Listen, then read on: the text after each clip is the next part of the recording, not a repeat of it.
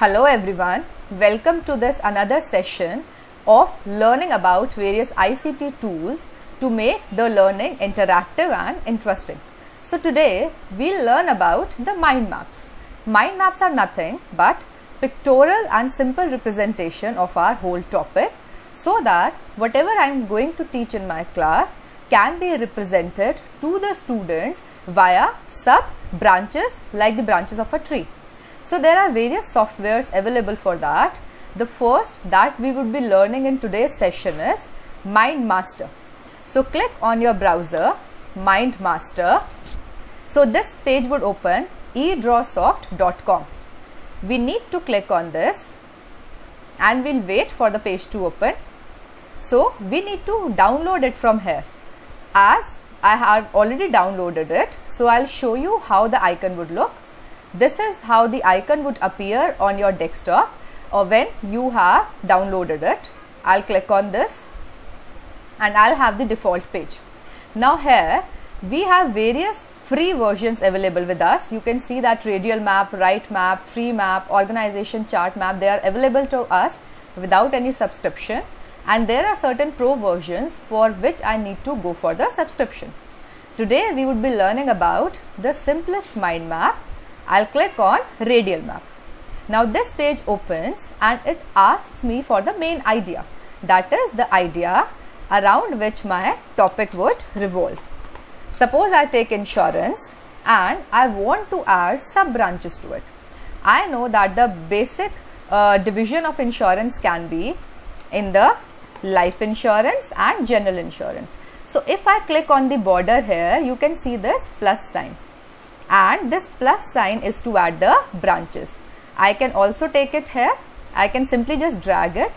Now if I want to add uh, sub branches to life, again I'll click on this plus sign and I'll write term, I'll uh, write endowment, again I'll click plus, I'll write whole life, I'll click on plus and I'll write ULIPs. Right? Similarly in case of general insurance also I can add the sub branches motor insurance health insurance travel insurance commercial insurance marine insurance. So these are the various branches that I have. Now let us see what else can be added here these are the various options on this you can see on the right hand side and on the top. Suppose I want to add a clip art. So I'll click on this clip art and here I need to click on this arrow. So it will show me the various clip arts that are available. I'll click on education and these are the clip arts that are available to me. I can just drag any of these and some of them are free and some of them are paid. So I'll need to check suppose this is paid so I'll just take it here. You can take out this is also paid one. So as soon as you click on any paid one it will show you that you need to upgrade. So you cannot take it. So all most of them are paid but this was unpaid so I selected that. You can also select a picture. So you can take a picture from your device. Suppose I take this so I can take this also here. You can also add it to the main idea, right? So that depends upon you how you want to show this. Now let me again click here and here you can see that we have the various themes.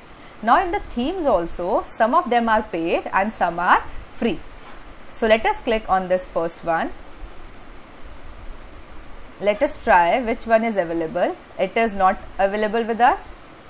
Let us see this is also not available. There are very few which are available actually.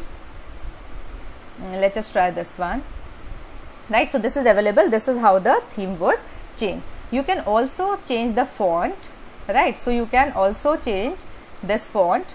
So all the font would be changed. So you can take this right?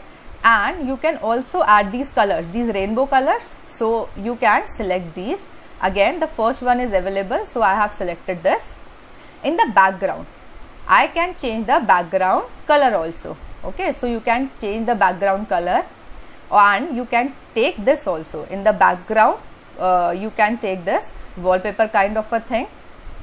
And you if you want to write anything like I want to add a watermark with my name so I can just click on that right? And I can do that. If you don't want it just press on control Z so this is how you can add a basic uh, mind map and you can make learning interesting for the students.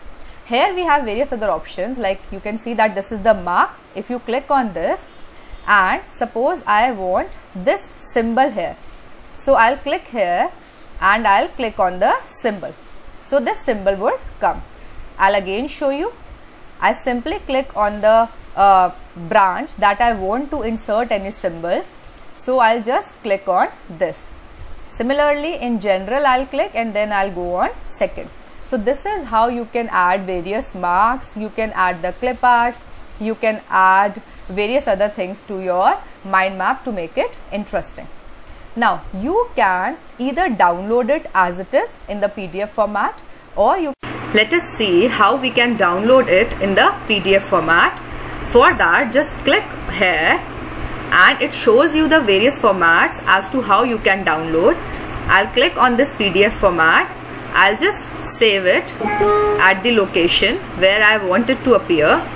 I'll click on OK and here if you want that the watermark shouldn't be there that it asks us for the upgradation but I don't want that I'm okay with the watermark so I'll click on export now when I export now this is how my mind map would appear which I can share with my students and make this learning fun. Thank you so much and I hope that you enjoyed this session